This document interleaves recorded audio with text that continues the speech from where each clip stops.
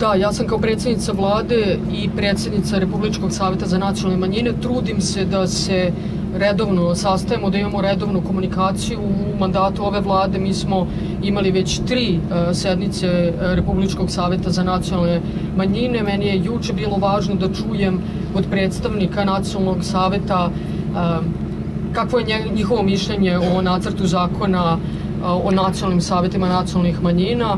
Oni su u velikoj meri zadovoljni. Ministarstvo za državnu upravu i lokalnu samoupravu je prihvatilo veliki broj predloga u tokom javne rasprave. Zamolili su me da imamo još jedan konačan poslednji sastanak da vidimo koja su to sve otvorena pitanja. Mi smo se to dogovorili do kraja maja. Ja ću zajedno sa ministrom Ružićem imati sastanak sa nacionalnim savetima samo oko ovog nacrta zakona da to finalizujemo.